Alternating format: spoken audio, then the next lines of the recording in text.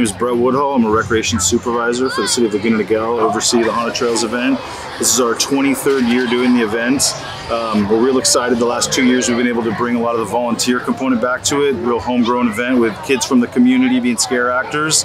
And uh, we're excited to be kicking it off here on night two.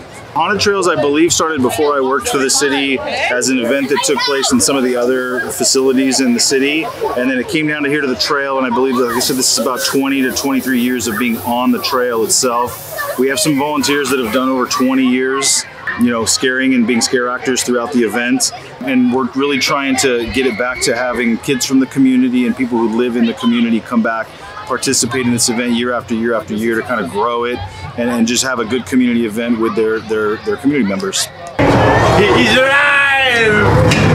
He's alive! so we do two volunteer meetings where we train them um, real simple, just kind of go over the do's and don'ts of the event, the things to look out for. We provide them with a scare demonstration. Um, we give them some pointers on how to kind of make sure that they can make it through the four days without burning out their voice.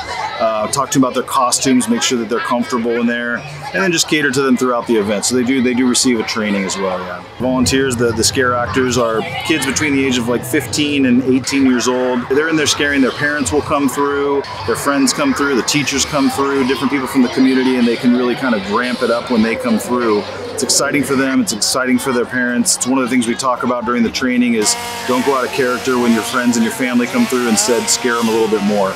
Um, so like I said, just really trying to get it back to a community event where everybody participates and has a good time.